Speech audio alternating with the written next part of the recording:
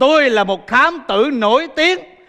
Chính là thám tử sơ Sherlock cốc, Đã nổi tiếng bởi những cái vụ án phá ra Chỉ cần nhìn vào hiện trường là có thể truy được hung thủ. Bà đã mời tôi về đây để giải quyết cái hiện trường vụ án trong nhà của bà. Chắc chắn không sớm thì muộn Hung thủ sẽ phải đầu hàng trước tôi thôi. Nãy giờ tôi đã khảo sát toàn bộ địa hình hiện trường này. Và tôi đưa ra một cái quyết định. Xem xét hiện trường một lần nữa. Chi vậy ba?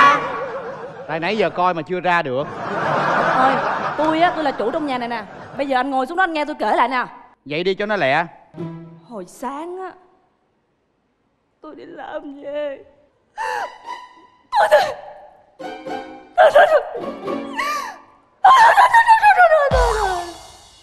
Thôi Tôi kêu bà kể chứ tôi đâu có kêu bà sủa Bà về chỗ cho tôi ờ. Bây giờ trong nhà này có còn ai đủ bình tĩnh mà trình bày lại cho tôi Đầu đuôi câu chuyện hay không?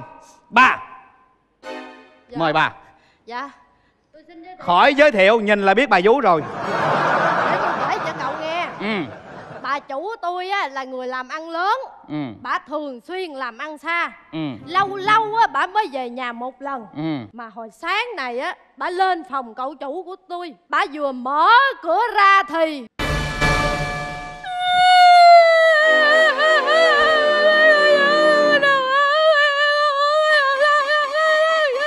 Dạ chị chị chị chị. Em có nghe được khỉ gì đâu mà tức. Cái em cần là cái chỗ mà chị ẻ ẻ đó chị. Thôi Mời bà về chỗ. Mất thời gian quá. Đây Người đàn ông bình tĩnh nhất nhà. Mời công. Mời cậu. Trình bày cho tôi. Dạ. Dạ Tôi Tôi là em ruột của bà chủ nhà này. Kim quản gia Sáng ngày hôm nay Chị tôi Lên phòng của con trai. Mở cửa ra thì thấy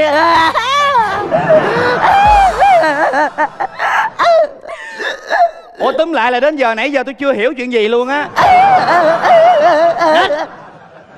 Bây giờ trong nhà này có còn ai đủ bình tĩnh để trình bày lại cho tôi cho tôi điều tra không? Tôi Tôi là người bị hại nè Tôi đủ 18 tuổi rồi Tôi có quyền được nói chứ. Mời cậu nói. Chuyện của ngày hôm nay là Xe bị hư Kiến bể Tôi bị té. Hả? Ủa có 6 chữ vậy thôi đó hả? Chứ bây giờ bị té đau làm sao nhớ nổi được nhiều thứ được đúng không? Trời ơi bây giờ kêu tôi qua đây. Là phải đưa cho tôi dữ kiện thì tôi mới điều tra được. Bây giờ trong nhà người thì đau lòng không nói được Người thì đập đầu không nhớ ra Còn ai có thể giải thích cho tôi được? Có em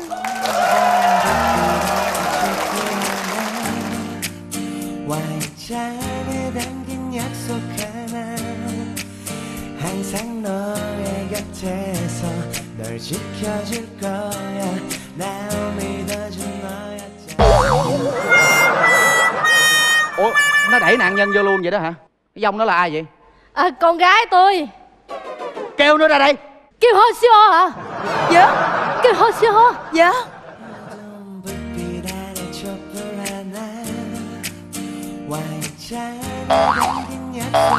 ไม่โยตะวุ้นไม่เลงฮะ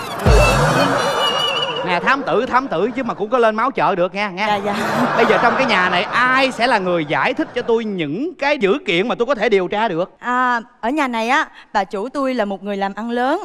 Bà ấy thường xuyên đi làm ăn xa, lâu lâu mới về một lần. Sáng nay khi bà ấy chuẩn bị đi lại á, thì phát hiện một chuyện động trời. Xe thì bị hư, kiến thì bị bể. Đặc biệt một điều chấn động ngôi nhà này là cậu chủ của tôi đã bị té cầu thang. Dữ kiện tương đối là chính xác. Khi tôi đi vào trong ngôi nhà của cô Thì đây là một biệt thự kính cổng cao tường. Và đặc biệt là sáng nay con của bà vừa mới té cầu thang ngay tại đây Thì chắc chắn hung thủ chính là một trong những người này. Cái gì? Ồ, chia đội hình sẵn luôn à, cảm ơn. Dễ điều tra Với kinh nghiệm thám tử tôi quả quyết với bà. Tôi cam đoan với bà Tôi xin thề với bà chỉ có thể là bà vú Ủa? Bà ngơ ngác à? Ông có nói cái gì? Tôi đang nói bà là hung thủ. Bởi vì bà oán hận chủ của bà. Đơn giản thôi Chỉ vì cùng một độ tuổi. Cùng là phụ nữ mà một bên thì như con công một bên thì như con cú. Bà tức lắm chứ gì. Ủa? tất cả những điều đó nó gom lại nó tích tụ trong đầu của bà. Và đặc biệt bà muốn làm sao mà để cho bà chủ của bà suy sụp về mặt tinh thần suy sụp về mặt thể chất để bà chủ của bà xấu hơn bà thì chỉ có thể duy nhất là bà khủng bố tinh thần của bà chủ bà. Ủa? Ủa? Bà ủa nữa à? Bà chưa tâm phục khẩu phục à? Vậy thì tôi sẽ lặp lại hiện trường. Mời cậu. Hả? trong ngôi nhà này cậu cùng quyết thống với nạn nhân. Bây giờ cậu sẽ vào vai của nạn nhân. Mời cậu lên lầu. Vào vai nạn nhân. Ủa mà tôi làm cái gì chừng nào tôi kêu té thì lộn từ đầu tám lộn xuống nhớ cắm cái đầu xuống trước. Vai tôi nguy hiểm quá. Khi nạn nhân té cầu thang bà đang làm gì? Tôi ờ, đang nấu cơm. Lặp lại hiện trường. Hung thủ thì cứ mãi mê nấu cơm. Nạn nhân thì ở trên lầu. Đột nhiên có một tiếng thét vang lên. À, té. Bà thấy chưa? Bà thấy chưa? Tôi đã nói rồi tôi đã quả quyết rồi hung thủ không phải là bà ta. À, ủa không phải bà ta gì kia tôi té làm cái gì? À. thì nhờ cậu té mới biết hung thủ không phải là bà. Nhưng giả thiết thứ hai thì hung thủ chỉ có thể là con bà vú. À. Ủa? Dạ? Tôi cam đoan tôi quả quyết tôi thề giữa trời đất hung thủ chỉ có thể là cô chỉ có thể là cô. Nhưng cô không cam tâm với thân phận người ở của mình. Bà chủ của cô đeo một cái sợi dây chuyền Chanel. Trong khi cô suốt ngày thì chỉ có rau muống xanh thôi. Làm sao mà cô chấp nhận được? Chính vì vậy mà cô đã dùng mọi thủ đoạn của mình mọi mưu kế của mình để làm gì? Để quyến rũ cậu chủ. Tạo nét vô. Đau lòng.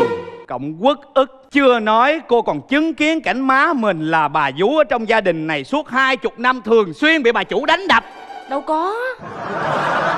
Thí dụ đi cô chưa tâm phục khẩu phục à? Được. Vậy thì tôi sẽ lặp lại hiện trường. Mời anh lên lầu. Ủa mà khoan tôi hỏi lên lầu làm cái gì? Té. Trong lúc nạn nhân trên lầu cô đang làm gì? À, bữa đó tôi vừa lau nhà vừa coi phim hàn quốc. Được. Lặp lại hiện trường. Chị chị chị. Chị lau nhà chứ không phải nhảy dance sport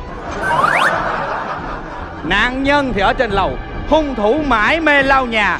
Đột nhiên một tiếng thét vang lên. À,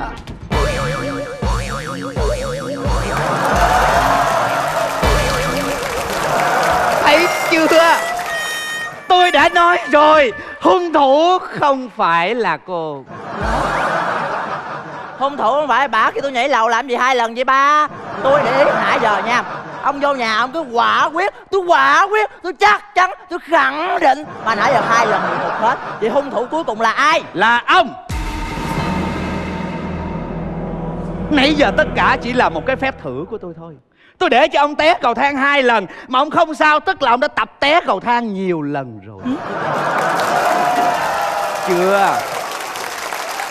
Đặc biệt một điều, ông chính là em ruột của bà chủ ông quán hận bà chủ, bởi vì một bên lòng lộng một bên là ruột non. Còn một bên là ruột già, là thú linh, là cái gì đó rất là ghê.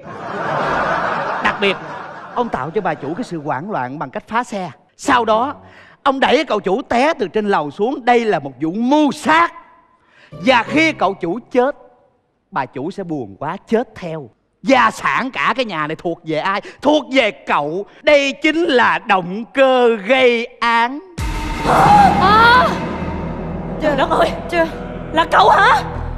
Trời đất ơi từ khi ba mẹ mất đi tôi lo cho cậu tôi có bạc đãi không hề nào đâu. Tại sao cậu làm như vậy hả? Cậu dám làm như vậy không phải. Phúc à làm chủ cho cậu đi con. Làm chủ cho cậu đi. Làm chủ. Phúc à làm chủ cho cậu đi. Làm chủ cho... trời ơi à, à, à, không phải tại tôi đâu. Đừng. Không phải tại tôi đi nè cái tay tôi bằng à, không phải tại tôi đâu mà mày mánh hết rồi thiệt luôn thiệt tình. Mẹ. Mẹ. Ờ, ờ, dạ mà thật sự là con có bị té là do cậu xô á. Thấy chưa? Tôi đã quả quyết với chị mà. Nhưng mà con suối ồ. Tại sao con lại làm như vậy hả? Tại con muốn mẹ ở nhà với con. Quỷ à. Nếu như mà con muốn mẹ ở nhà với con á Thì con phải nói với mẹ nè con làm như vậy á, Là nguy hiểm lắm, con biết không? Con nói rồi liệu mẹ có nghe không? Nếu như mà mẹ nghe á, Thì con đâu có bài ra mấy cái trò này đâu.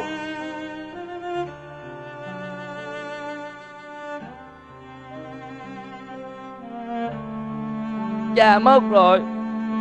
Mẹ suốt ngày cứ đi làm ăn xa hoài à. Có bao giờ mẹ ở nhà chơi con được lâu không? Về chút xíu là đi, Về chút xíu là đi à nhiều khi muốn tâm sự chút xíu cũng không được nữa. Mẹ xin lỗi con. Từ giờ trở đi á Mẹ hứa là mẹ sẽ dành thời gian nhiều hơn cho con. Nha chưa? Thấy chưa? Lúc đầu tôi đã quả quyết là con bà bày ra tất cả mà. Tôi khoanh dùng là chính xác mà. Ồ, hay quá hay, hay quá. Giỏi quá anh giỏi ơi. quá. à. mời thám tử qua đây. Đó. Ừ. Ông khoanh hả? Chính xác ha. Cậu út cậu xử ổng cho tôi để đó cho em Cái gì vậy